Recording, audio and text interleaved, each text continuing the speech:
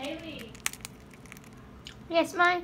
We're gonna have burgers for dinner tonight. Why? Are you sure you're not upset? What are you doing?